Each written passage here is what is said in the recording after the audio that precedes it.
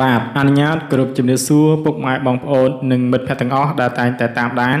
រាល់ការផ្សាយព័ត៌មានតាមបណ្ដាញសង្គម YouTube គណៈនេះខ្ញុំបាទនឹងមានអត្ថបទថ្មីមួយដើម្បីចែកជូនពុកម៉ែបងប្អូនសំណាងអេលីណា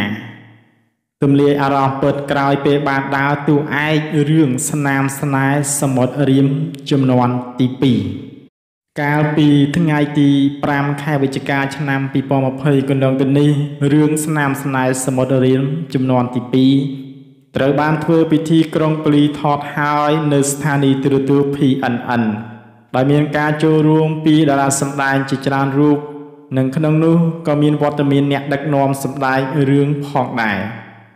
នោះគឺអ្នកស្រីប៊ន់ភួងបុផា តកតើនឹងខ្សែភាពយន្តដែលមានភាពល្បីល្បាញកាលពី17ឆ្នាំមុនខាងលើនេះប្រិមិត្តអ្នកគាំទ្រប្រកាសជាបានដឹងរួចមកហើយដែលថាតួឯកប្រុសស្រីចំនួននោះគឺអ្នកនាងសឿនសុធារានិងលោកញ៉ែមសគុណដែលក្តោបបានតំណែងធំនេះប៉ុន្តែយ៉ាងណា សម្រាប់រឿងដែលនឹងចាប់ផ្ដើមថតឡើងវិញនេះ តំណែងតួឯកស្រីមិនមែនជាសឿនសុធារានោះទៀតទេប៉ុន្តែបានធ្លាក់ទៅលើតារាសម្ដែងចំនួនថ្មីកញ្ញាសំណាងអេលីណានិងលោកខាត់វ៉ៃហាំងបន្ទាប់ពីទទួលបានតំណែងតួឯកនៅក្នុងរឿងស្នាមស្នេហ៍សមុទ្ររៀមចំនួនទី2នេះកញ្ញាសំណាងអេលីណា ដែលអ្នកគួងត្រស្គាល់យ៉ាងច្បាស់ជាបវរកញ្ញាចក្រវាលកម្ពុជាប្រចាំឆ្នាំ2019នោះ បានបង្ហាញអារម្មណ៍រំភើបយ៉ាងខ្លាំងរហូតដល់នាងបានបង្ហោះសារបង្ហាញពីអារម្មណ៍រីករាយនោះ នៅលើបណ្ដាញសង្គមកាលពីពេលថ្មីថ្មីនេះ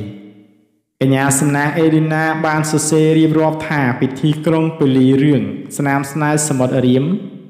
ថ្ងៃទី5 11 2020ជាកិត្តិយសនាងខ្ញុំដែលបានចូលរួមសម្ដែងនៅក្នុងស្នាដៃនិពន្ធនិងដឹកនាំរឿងរបស់អ្នកស្រីពាន់ភួងបុប្ផា របស់ស្ថានីយ៍ទូរទស្សន៍ PNN ដែលជាស្នាដៃចុងក្រោយរបស់អ្នកមីងនិងរីករាយដែលបានចូលរួមការងារលើកដំបូងក្នុងវិស័យភាពយន្តជាមួយបងបងសិល្បករសិល្បការិនីជាច្រើនរូបគួរឲ្យដឹងផងដែរថារឿងស្នាមស្នេហ៍សមុទ្ររៀមចំនួនទី2នេះមិនត្រឹមតែមានកញ្ញាសំណាងអេឌីណាសម្ដែងរួមជាមួយនឹងលោកខាត់វ៉ៃហាំង ជាតួឯកប្រុសស្រីនោះទេ នៅមានតួឯកប្រុសស្រីវ័យក្មេងជាច្រើនគូទៀតគឺកញ្ញាគឺណរ៉ូសានិងលោកពៅពិសិដ្ឋថែមទៀត